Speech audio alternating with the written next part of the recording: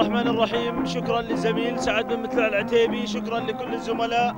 أيها الأخوة مشاهدينا الأعزاء ما زالت أشواطنا متواصلة وما زالت انطلاقاتنا متتالية وانطلق قبل قليل الشوط الرابع في ترتيبنا في فترتنا الصباحية لهذا اليوم من أيام هذا المهرجان السنوي الكبير الختامي القالي على قلوبنا جميعا لسباقة الهجنة العربية الأصيلة على سيف سيدي حضرة صاحب السمو الشيخ حمد بن خليفة آل ثاني أمير البلاد المفدى حفظه الله ورعاه ومن أشواطنا العامة انطلق قبل قليل الشوط الرابع وهو الثاني وهو الشوط الثاني للجذاع القعدان. في هذا اليوم الأربعاء الموافق الواحد والعشرين من إبريل لعام 2010 السابع من جماد الأولى لعام 1431 هجرية وانطلقت هذه الأسماء وهذه الشعارات في هذا الميدان وأرضية هذا الميدان تحتضن هذا السباق وهذا المهرجان ترحب هذه الأرضية ونرحب بكل الأخوة القادمين وبكل الضيوف الكرام الذين تزين بهم هذا الميدان والمقدمة أيها الأخوة الجذاب لراشد بن سالم بن مسعود المري هو من سيطر على مقدمة الشوط منذ منذ انطلاقه الجذاب بينما النقل على المركز الثاني لأرى في ثاني المراكز في هذه اللحظات هملول لسعيد بن محمد بن عامر الخيارين هو من احتل المركز الثاني هملول. النقلة على المركز الثالث لأرى في ثالث المراكز مياس لمحمد بن علي الوهيبي. والذي يلي مياس بينما النقل على المركز الرابع الذي يلي مياس هنا أيضا مياس لأحمد بن سعيد بن دري.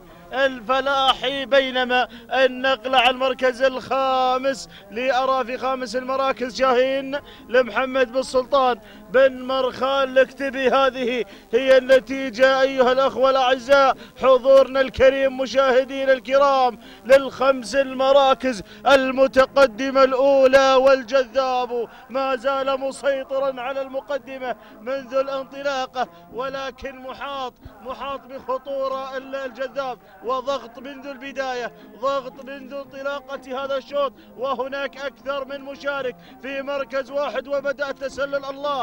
الله الله بدأ التسلل من قبل مياس لسعيد بن دري. الفلاحي أو أحمد بن سعيد بن دري. الفلاحي وانتقل مياس إلى المقدمة. بينما المركز الثاني أيضا يتواجد فيه ملول لسعيد بن محمد بن عامر الخيارين والجذاب في المركز الثالث لراشد بن سالم بن مسعود المري والمركز الرابع.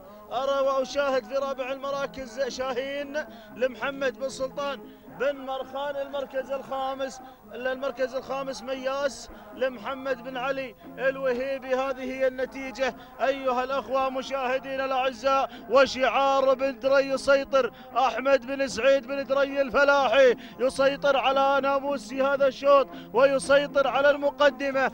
وجائزة هذا الشوط. سيارة عبارة عن سيارة عبارة عن تويوتا كروزر بكف الانتظار للفائز بالمركز الأول مقدم من اللجنة المنظمة لسباقات الهج المشكورة. على هذا الدعم اللامحدود وعلى هذه الجوائز القيمة الله الأقرب للسيارة الأقرب للسيارة هنا مياس. الله يا مياس في هذا الجو الجميل وعبر نسيم الصباح يسيطر مياس على المقدمة ويحتل المقدمة ويفرض الصداء ويفرض السيطرة التامة على المقدمة وأقرب الواصلين واللي رافع راية التهديد. هذا هو هملول لسعيد بن محمد بو عامر الخيارين بينما المركز الخامس القائل المركز الثالث القادم في خامس المراكز شاهين. لمحمد بن سلطان بن مرخان الاكتبي اللي قادم وديروا بالكم من شاهين ديروا بالكم من شاهين. بينما المركز الرابع في هذه اللحظات الجذاب الذهب لراشد بن سالم بن مسعود المري ويليه في المركز الخامس. المركز الخامس مياس لمحمد بن علي الوهيبي. هذا هو نداءنا الثالث. أكملناه على مسامعكم كاملا مكمل للخمس المراكز الأولى. وانتظروا ما خلف الخمس مراكز. انتظروها في الكيلومتر الأخير. أوعدكم بذلك أيها الأخوة مشاهدين الأعزاء لأني أرى المراكز سيل جارف سيل قادم من من الجذاع القعدان سيل قادم يا سلام يا حسين. يا حسين يا هي معركة بتستوي على اتزاع ناموس هذا الشوط وعلى سويك السيارة. الله السويك يلمع في الانتظار. السيارة تلمع والعيون تدمع. والله سبحانه وتعالى يعطي ويمنع. و2500 متر. الله المسافة تتقلص. المسافة تتقلص. والأقرب والأقرب حتى هذه اللحظات. ما زال مسيطر مياس لأحمد بن سعيد بن دري الفلاحي ضيف قادم من دولة الإمارات العربية المتحدة الشقيقة خصيصا لهذا المهرجان خصيصا وقد أعد الإعداد الجيد لمثل هذا اليوم. الله يا بن دري روح يا سعيد روح يا شاعر القمة. ولكن بن مرخان وقادم ابن مرخان في دار المراكز وهذا الشعار أيضا له ثقله في الميادين. ولكن من يحتضن من يحتضن هذا الشعار ظهر شاهين لمحمد بن سلطان بن مرخان هملول يأتينا في ثالث المراكز لسعيد بن محمد بو عامر الخيارين. أول نداء لصاحب المركز الرابع اللي دخل على الإذاعة شاهين لناصر بن صبيح الوهيبي بن صبيح الوهيبي. ولكن ينخط في المركز الرابع من قبل علي بن عبد الهادي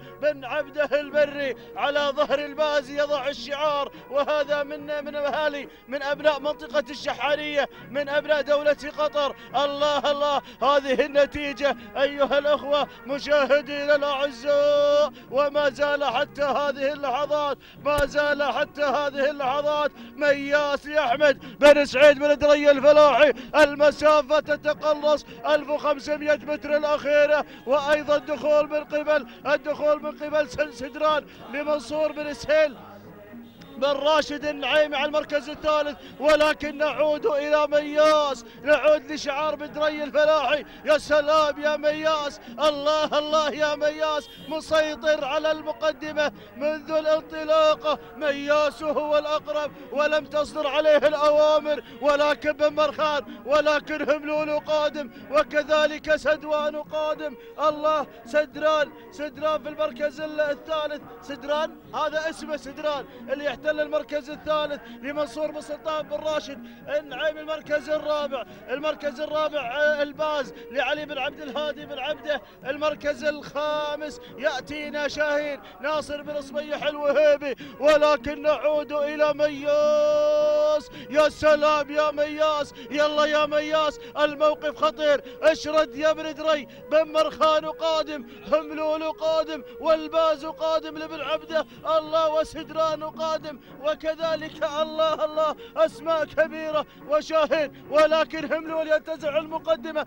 ينتزعها ويحطمها وينتزعها شاهين. يحطمها وينتزعها شاهين. محمد بن سلطان بن مرخان الله الله. الباز قادم أيضا. يا هشوط المعركة طاحنة على انتزاع الناموس. يا سلام يا شاهين. صاحب المضمنين القادم بن الله مقدام مقدام. محمد بن طحنون بن مهيرة. يا سلام! مقدام قادم لانتزاع السيارة في هذا الشوط الله يا مقدام! محمد بن طحنون بن مهيرة. أبناء الشحانية في هذا الصباح ينتزعون ناموسي. هذا الشوط إذا المركز الثاني أيضا القدوم من قبل ساري لحمد بن مسلم بن حمرور العامري ولكن بن مهيرة. يا سلام! يا مقدام. تهانينا لمحمد بن طحنون بن مهيرة على فوز مقدام. في هذا الشوط الله الله مقدام تهانينا. اللحظات الأخيرة انتزع السيارة مقدام انتزع السيارة الثانية له في هذا الموسم. تهانينا على فوزه. المركز الثاني ساري لحمد بن سلم بن حمرور. العام للمركز الثالث شاهين لمحمد بن سلطان بن مرخان المركز الرابع. المركز الرابع أيضا محمد بن محمد بن سلطان بن طارش المركز الخامس. المركز الخامس أتانا في خامس المراكز. شاهين لمحمد بن حماد نكتب تهانينا؟ ألف مبروك للخمس المراكز الفائزة بهذا الشوط حظا أوفر لمن لم يحالف الحظ. ننتظر لحظات التوقيت الزمني لصاحب المركز الأول.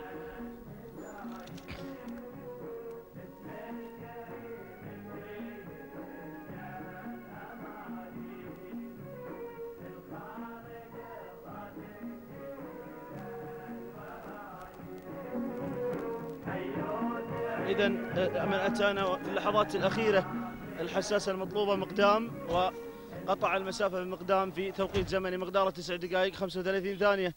17 جزء من الثانية. تهانينا والف مبروك لمالك ومضمر مقدام محمد بن طحنون بن مهيرة بينما المركز الثاني الذي أتى وصل إلى خط النهاية ساري في توقيت زمني مقداره 9 دقائق 36 ثانية. جزء واحد من الثانية. تهنينا لحمد بن مسلم بالحمرور العامري على فوزه. المركز الثاني المركز الثالث. اللي قدم عرض يشكر عليه منذ البداية شاهين قطع المسافة شاهين في 9 دقائق.